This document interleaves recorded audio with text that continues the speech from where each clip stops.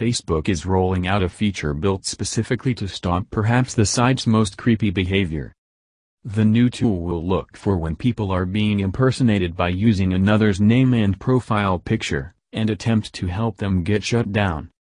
The site is also introducing new features that are meant to stop people from having non-consensual intimate images shared of themselves online.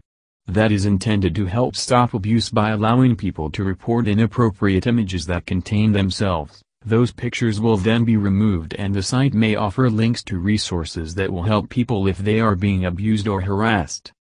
If the automated tool spots a potential example of impersonation, it will send a notification to the person it believes is being trolled.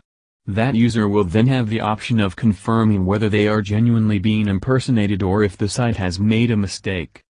If a user confirms that they are being abused, then the complaint will be reviewed and the account may be taken down, according to Mashable, which first reported the news.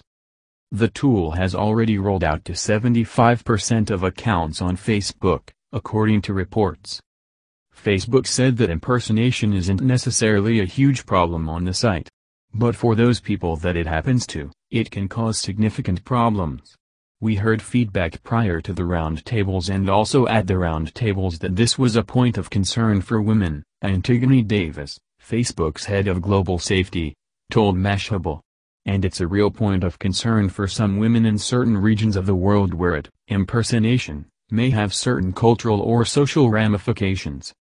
Facebook will also introduce a photo checkup feature, it said, which is meant to help educate users about who can see which photos,